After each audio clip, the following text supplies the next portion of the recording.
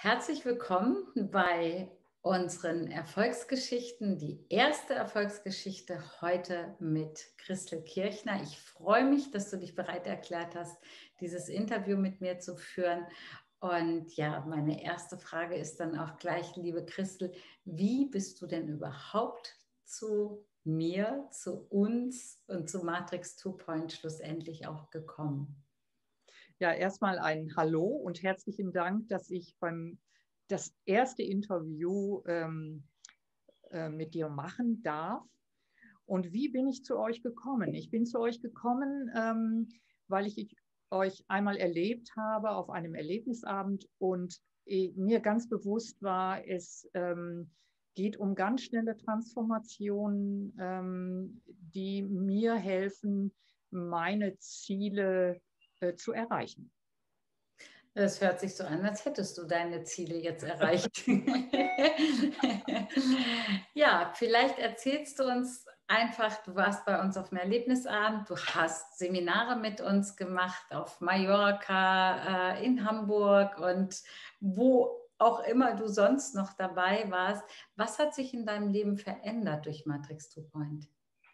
Naja, da ich natürlich ganz viele Seminare bei euch bele äh, belegt hatte und euch eigentlich immer gefolgt bin, weil ich das Gefühl hatte und das auch gespürt habe, dass mein Leben sich äh, verändert hat, ähm, dass ich selbstbewusster geworden bin, mich äh, einfach auch mit Menschen viel besser unterhalten konnte. Also es gibt so viele Dinge, die sich einfach verändert haben und natürlich auch, auch beruflich. Damals habe ich ja noch gearbeitet.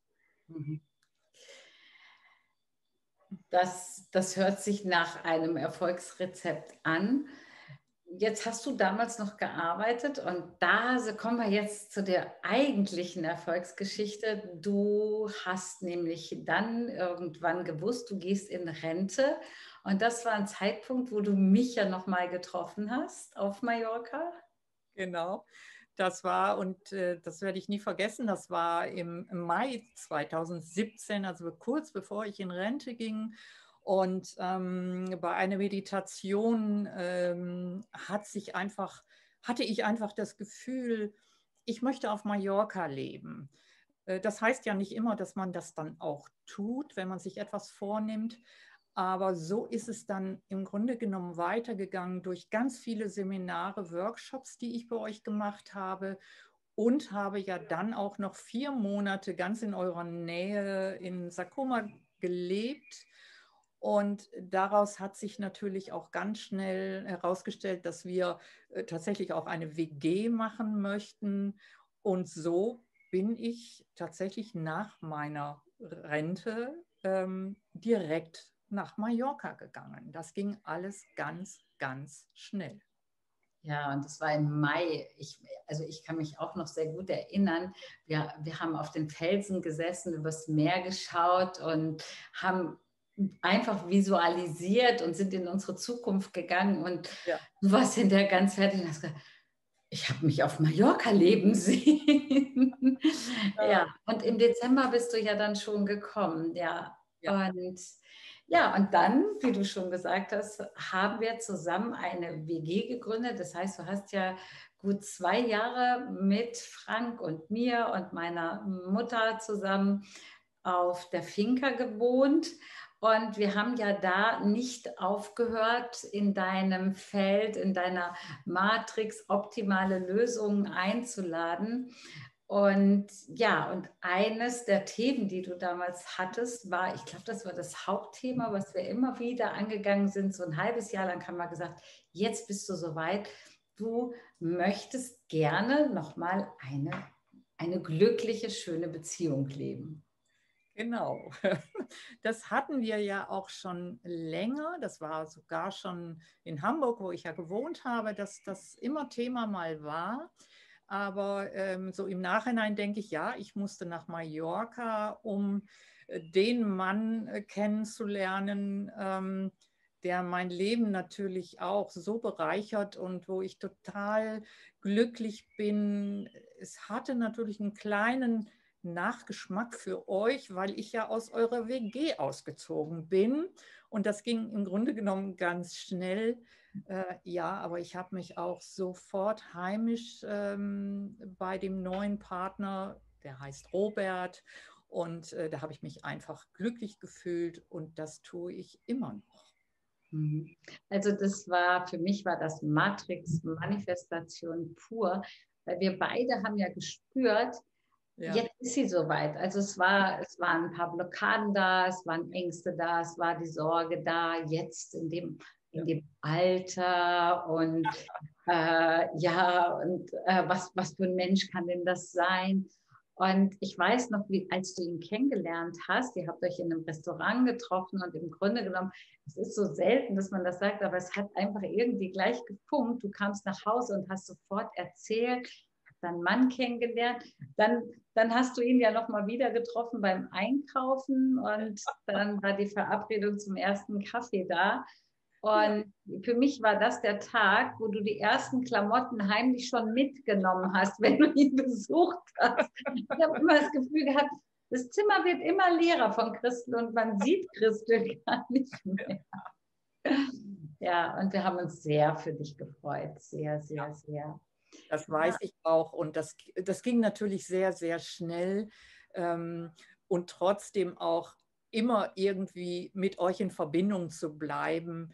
Und es gibt ja immer wieder Themen oder vielleicht hat man auch bei einem Thema irgendwie eine Blockade und so das Gefühl zu haben, ähm, ihr seid auch immer wieder für mich da und ich kann jederzeit zu euch kommen, kann mal wieder ein Coaching nehmen. Ich weiß ja, wie das manchmal ist, äh, dass man dann einfach vielleicht auch mal ganz schnell Hilfe braucht.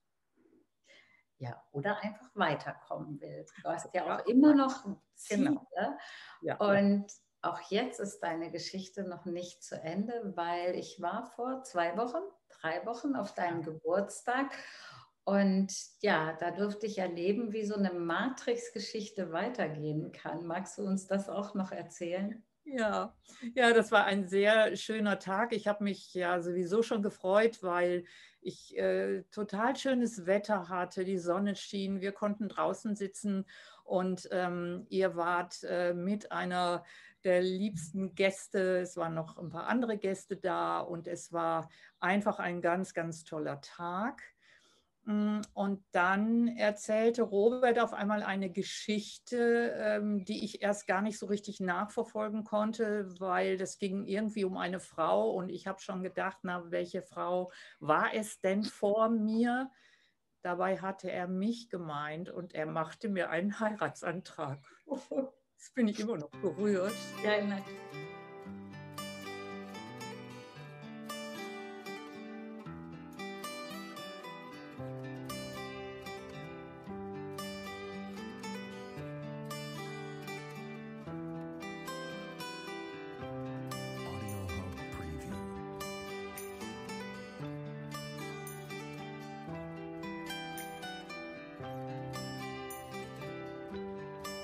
Ähm, sehr, sehr schön und ähm, da habe ich ja gar nicht mit gerechnet und ich glaube, keiner der Gäste hat damit gerechnet, was an dem Tag passiert. Nun bin ich verlobt. und das ja. ist sehr, sehr und, schön. Und du bist für mich ein, ein, ein Beispiel, wie, wie wirklich wie es funktionieren kann, wenn wir uns von alten Konditionierungen lösen. Und, und du hast dich, du hast ja so viel von dir befreit, was, was jetzt noch sichtbar geworden ist, was, was wir auch in diesen zwei Jahren gemeinsam in der Finca erleben durften und auch jetzt in, in den zwei Jahren, die ihr ja nur auch schon wieder zusammen seid, äh, was sich da alles noch aus dir heraus entwickelt hat, was da wirklich an, an Perle in dir steckt. Und das ist ja. sehr schön. Und ich weiß, dass ich bin neulich gefragt worden, warum ich diese Arbeit mache. Und dann habe ich gesagt, weil ich es liebe, wenn sich Menschen verändern und zwar zu sich selbst entwickeln und, und dieses Glück ausstrahlen, wie, wie ich das bei dir und Robert sehen darf. Ja. Ja. Eine, sehr, sehr tolle, eine sehr, sehr tolle Zeit und ähm, sie ist ja auch noch nicht vorbei. Ähm, man wächst ja immer weiter und ähm, ich freue mich auch auf die nächste Zeit mit euch. Wir freuen uns auch auf die Zeit mit euch. Und war gar nicht schlimm, Christel, oder? Hast du es überlebt? Hat mir Spaß gemacht. ja, ne? Okay, also Dankeschön und ja, und jeder, der Lust hat, uns seine Erfolgsgeschichte mit Martina und Frank Klimpel und Matrix 2 zu erzählen, fühlt euch herzlich eingeladen, mir zu schreiben und seid einfach dabei. Vielen, vielen Dank.